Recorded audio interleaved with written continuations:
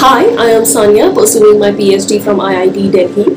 I was a Fulbright Nehru doctoral researcher at Columbia University, and about a year ago, I uploaded a video on how to prepare a winning Fulbright application along with a few of my colleagues. And uh, it, I received an overwhelming response. A lot of people contacted me after watching that video, asking me for help and telling me that they found it very useful.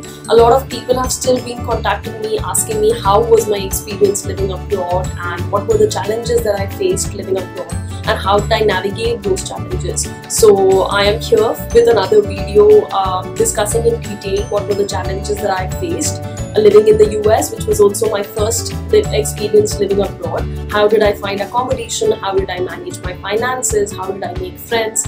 Um, and uh, what, what were the places to see around? How did I manage to not feel homesick, etc. etc. So I basically lived in New York City for about nine months. I went to Columbia University and uh, I was there from September 2021 till May 2022